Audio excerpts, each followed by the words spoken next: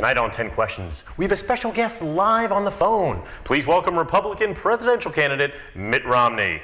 Welcome to OMGG News, Mr. Romney. Thank you, Neil. Good to join you. Well, Actually, the name's Nick.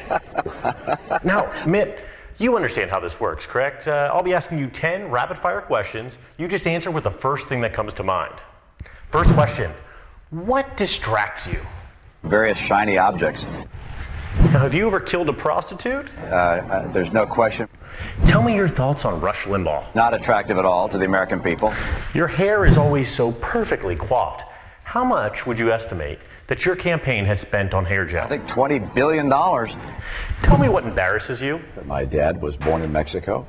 and what are you most proud of? Uh, you know, I've been on uh, the, the Tonight Show. What would surprise people to learn about you? I try and, and not worry too much about what other people say. What do you think of Honey Boo Boo?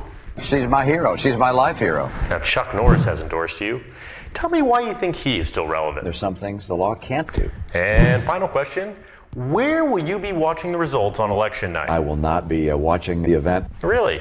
See, I would have thought that'd be something you'd follow closely. Not even sure which day the sport goes on. Well, it's not really a sport. It's an unusual interview. Hey, Mitt Romney, everybody.